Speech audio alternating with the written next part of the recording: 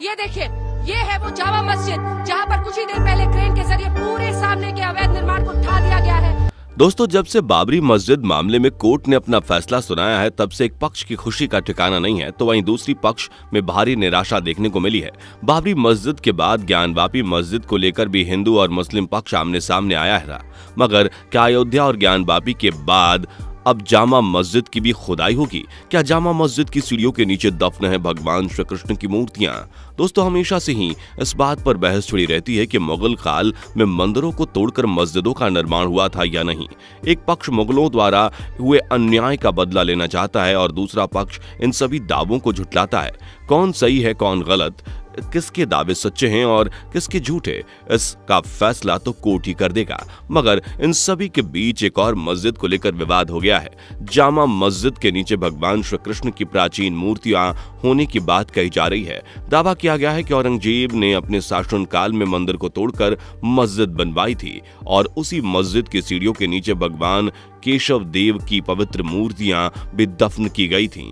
और आज भी उन्हीं सीढ़ियों के नीचे दफन है। क्या है पूरा मामला और किस मस्जिद की होगी खुदाई? आइए आपको पूरी जानकारी विस्तार से बताते हैं। वीडियो को अंत तक ज़रूर देखेगा वीडियो अच्छी लगी हो तो इसे लाइक और शेयर कर दीजिएगा। दोस्तों, पिछले साल 2022 में ज्ञान बापी मामले ने पूरे देश भर में सुर्खियाँ बटोरी थी। हिंदू पक्ष का कहना था कि ज्ञान बापी मस्जिद को औरंगज़ेब ने बनवाया था और उसने इसे काशी विश्वनाथ मंदिर का एक हिस्सा तोड़कर बनवाया था।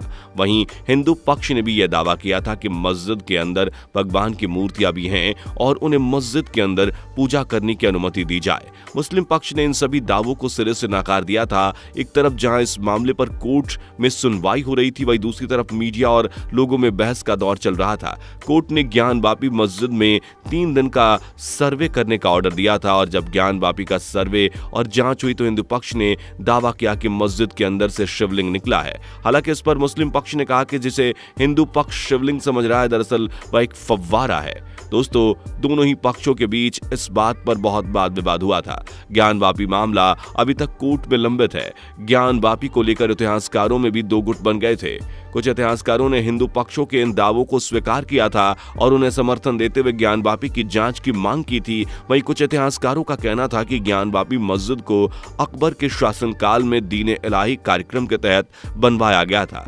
अकबर ने सभी धर्मों को एक समान अवसर देते हुए एक ही जगह मंदिर और मस्जिद का निर्माण करवाया था।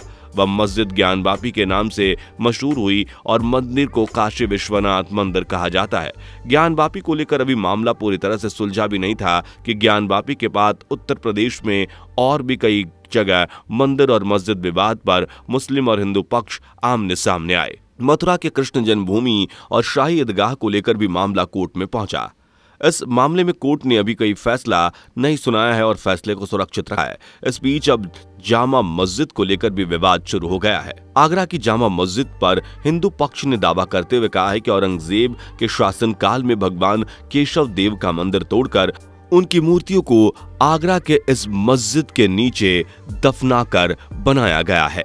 इसके पक्ष में उन्होंने कई सबूत और दावे पेश किए हैं। एक तरफ़ हिंदू पक्ष का कहना है कि औरंगज़ेब ने अपने शासन काल में हिंदुओं का दमन किया था और मंदिरों को तोड़कर मस्जिदों को बनवाया था और आगरा के केशव देव मंदिर भी औरंगज़ेब ने ही तोड़वाया था।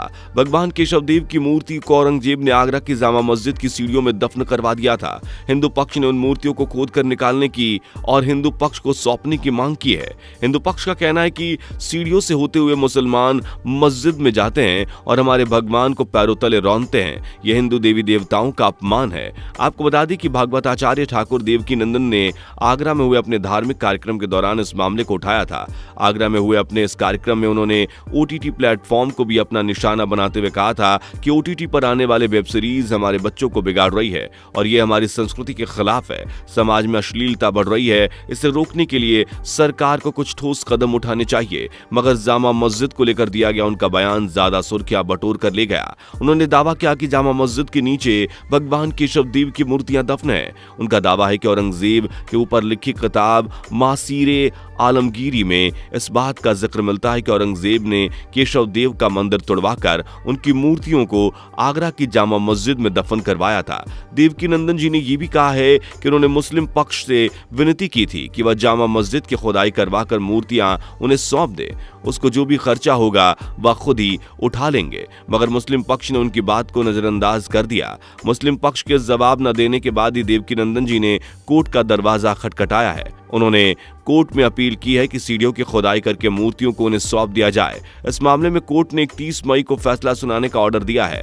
कोर्ट ने इस मामले में जामा मस्जिद, इंतजामिया कमेटी, छोटी मस्जिद, दीवान खास, जहाँ आरा मस्जिद, आगरा किला सुन्नी सेंट्रल बोर्ड लखनऊ और श्री कृष्ण सेवा संस्थान को नोटिस जारी किया है, पर इकतीस को कोर्ट में अपना पक्ष रखने का हुक्म दिया है। ठाकुर देवकी नंदन ने अपने दावों को साबित करने के लिए पुख्ता सबूत पेश करने की भी बात कही है। ठाकुर देवकी नंदन का कहना है कि औरंगज़ेब के शासनकाल में हिंदुओं के दमन की बात किसी से छुपी नहीं है, और उसने अपनी पूरी सल्तनत में हिंदू मंदिरों को तोड़कर मस्जिदों को बनवाया था। वह कट्टर हिंदू विरोधी था और उसने ही मथुरा में स्थित भगवान केशव देव का मंदिर 1670 ईस्वी में तोड़वाया था। मंदिर की जगह पर ही जामा मस्जिद का निर्माण किया गया था। उसकी सीढ़ियों के नीचे ही केशव देव की मूर्तियों को दफन भी कर दिया गया था। ठाकुर देव की नंदन ने आगे कहा कि औरंगज़ेब अच्छे से जानता था कि मथुरा भगवान श्री कृष्ण की भूमि है, मगर बावजूद इसके उसने इसका नाम बदलकर इस्लामाबाद कर दिया था। अपने बयानों में ठाकुर देवकी नंदन ने यह भी कहा है कि उन्हें मस्जिद की ज़मीन से कोई लेना देना नहीं है। और वह मुस्लिम पक्ष चाहे तो अपनी इबादत करते रहे, मगर हमारे इष्ट देव की मूर्तियों को पैरों तले रौनते हुए हमारी भावनाओं को ठेस ना पहुँचाए। इसके उलट कुछ इतिहासकारों का मानना है कि ये सभी दावे बेबुनियादी हैं और इसमें कोई सच्चाई नहीं है। हालाँकि कुछ इतिहासकारों का मानना है कि ठाकुर देव की नंदन ने जो दावे किए वो सच हैं। श्री कृष्ण जन्मभूमि संरक्षित सेवा ट्रस्ट के संरक्षक एवं कथा व्यास देवकी नंदन महाराज के इन दावों के बाद अब मुस्लिम पक्ष की तरफ़ से जवाब की आशा की जा रही है। कोर्ट की तरफ़ से दोनों पक्षों की बातें सुनी जाएँगी और इस पर क्या फैसला आएगा ये तो कोर्ट ही तय करेगा। दोस्तों, मंदिर और मस्जिद विवाद में अक्सर ही मीडिया चैनल्स टीआरपी लेने का काम करते हैं, लेकिन इस दौरान हमें ये नहीं भूलना चाहिए कि कोर्ट जो भी फैसला करेगा, वह सही होगा, चाहे वह किसी के पक्ष में हो या किसी के विपक्ष में, क्योंकि जीत तो किसी एक पक्ष की होगी। ऐसे में आपसी सौहार्द नहीं बोलना चाहिए। इतिहास के साथ बिना किसी छेड़छाड़ के निष्पक्ष रूप से इस मामले को भी कोर्ट अपना फैसला सुनाएगा। मगर कोर्ट के फैसले से कितने लोग खुश रहेंगे और कितने लोग को दुख होगा, ये कहना जरा मुश्किल है। बहरहाल जो सच होगा, वो तो सामने आएगा ही। झूठ ज़्यादा देर तक फलता फूलता नहीं है। उम्मीद है इस मामले में भी सच्चाई की ही जीत होगी। आपका इसके बारे में क्या सोचना है, हमें कमेंट करके ज़रूर बताइएगा। वीडियो अच्छी लगी हो तो इसे लाइक और शेयर भी करना मत भूलिएगा। इस तरह की फैक्ट बेस्ड वीडियो देखने के लिए हमारे चैनल को अभी सब्सक्राइब कर लीजिए और बेल आइकन को प्रेस करना ना भूलें, ताकि नई वीडियोस के अपडेट सबसे पहले आप तक पहुँचे। आपसे फिर मुलाकात होगी एक अगली वीडियो में। बाय बाय दोस्तों, आपको स्क्रीन पर दो और वीडियोस दिखाई दे रही हैं, जिसे देखने के लिए स्क्रीन पर क्लिक करें।